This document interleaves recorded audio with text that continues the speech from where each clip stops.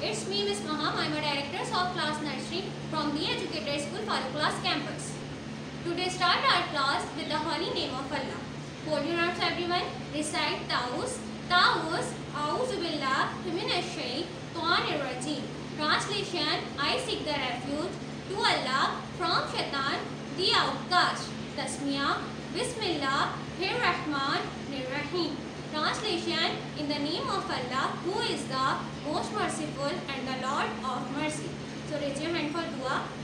Dua for increasing knowledge. Rabbi Zidni Ilma. And mere Rab, mere ilm mein izafa ata farma. O Allah, increase my knowledge. Ameen. So student, let's move towards our working. So student, this is your math book. Open this page 26 and 27. Instruction is write the number in order.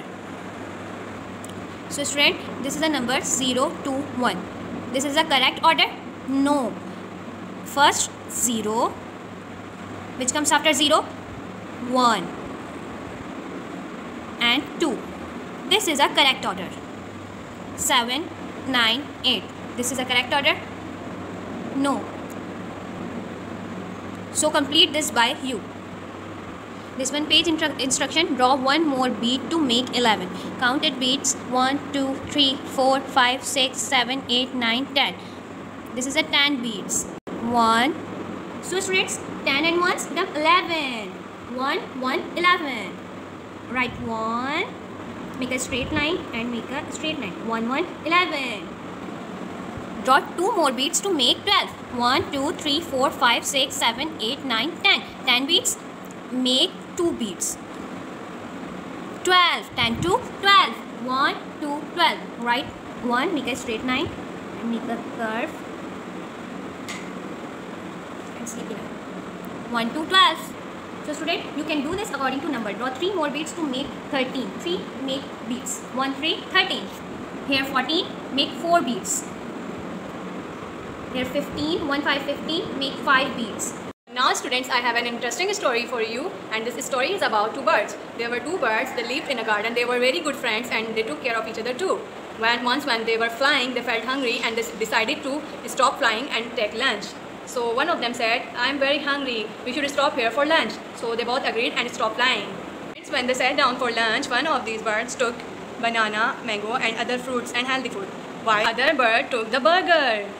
And you know friends, this bird said, I love burger, I love burger, pizza, cold drink, jelly, chips and much more. So students, you know what the other bird said?